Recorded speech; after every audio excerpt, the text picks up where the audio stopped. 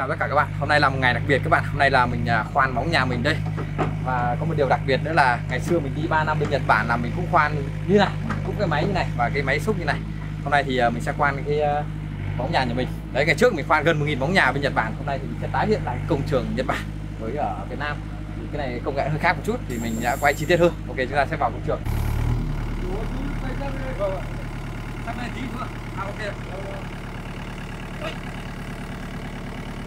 cái này à, ngày trước ấy ở mình bên Nhật là người ta dùng cái đinh 10 thôi. Nhưng Việt Nam mình đây là các bác thợ xây ở chơi hẳn cái này cơ. Cái này là cần khoai nước các bạn này. Cái công nghệ khoan này nó khác hoàn toàn so với bên Nhật này. Nước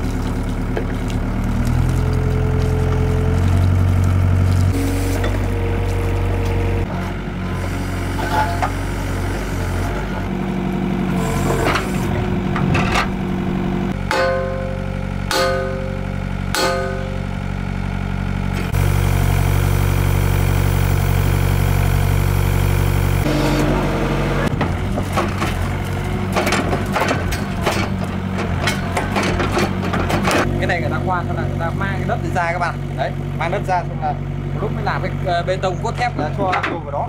Đây là cái hố sâu này đấy. sâu này. Đấy bình thường bên Nhật đấy là uh, cho cả xi ờ, xuống đất luôn khoan nhộn là nhồi luôn. Nhưng ở Việt Nam mình công nghệ khác hơn. Đấy mình làm hố này sâu khoảng 6 7 mét. Đấy, xong lúc làm cái ờ, cột trụ bê tông mình đổ bê tông xuống là chắc. Đây là khoan các bạn. Đây là máy này đã tháo mất cái vòi bơm bê tông rồi mà chức năng là ờ, còn hoạt động đó hai, ba mét nó đã có đất cũ các bạn. Dính qua để khẩu cục dạng đất sét. Xong một thế thêm khoảng mét nữa thì đến đất gành. Ok đấy, chú ơi phải dính ạ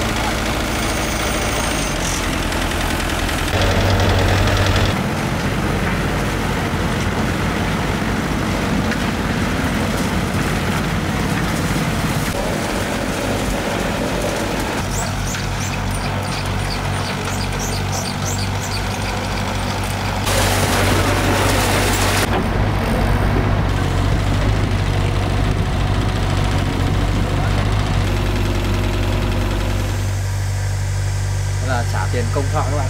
Đây là xây cái móng kia. Ừ, rất là tốn kém. Chú đến lại nhá. Đây là có chút quà cho chú đây chú chú ờ, ờ, thầu xây này. Nhưng mà còn hai chú cháu gặp nhau cả năm nữa. Hãy subscribe cho kênh Ghiền Mì Gõ Để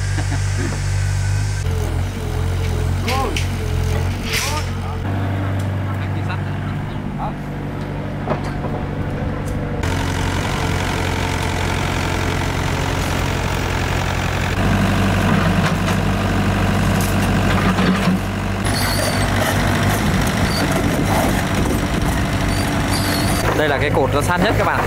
Nó chỉ cách, cái này khoảng 10 phân canh móng thôi. Đấy. Còn nó ra đến bờ này thì khoảng 4 là 5 năm 60 phân. Đấy. Máy đang khoan đây. Không biết là có vấn đề gì không? Cái bức tường này nhà mình mới xây khoảng mấy hôm thôi. Ba, bốn hôm rồi.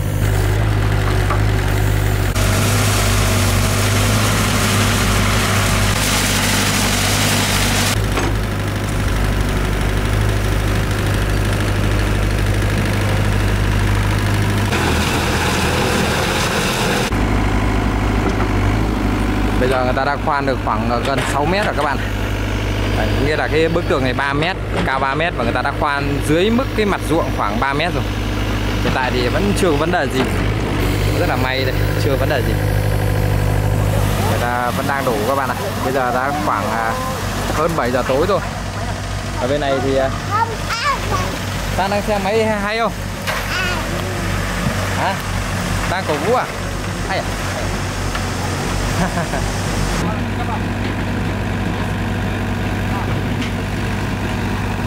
Đây là một bao xi măng 50 cân này các bạn. Rất là nặng.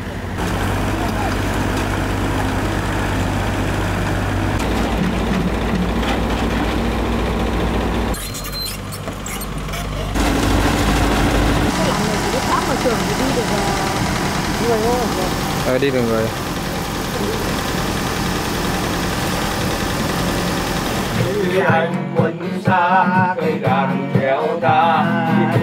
Mọi người vừa ăn cơm xong bây giờ Bố đang đánh đàn này cho các uh, bác thọ nghe giải trí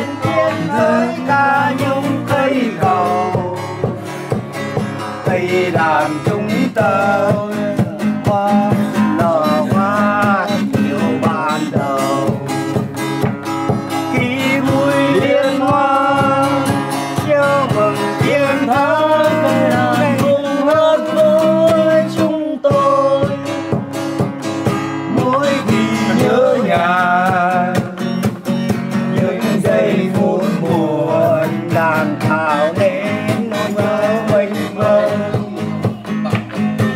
Señor.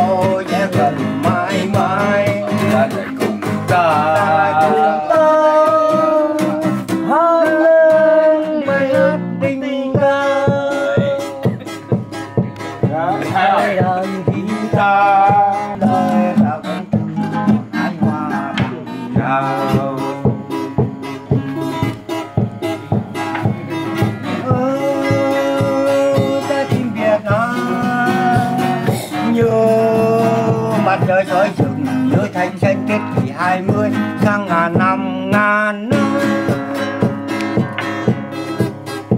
anh đánh tiếp nhá. Đánh tiếp bài cuộc đời vẫn đẹp sao? Cuộc đời vẫn đẹp sao? Tình yêu vẫn đẹp sao? Dù đàn bom rồi thét cao dù thân thể thiên nhiên bằng nhiều thương tích dù cho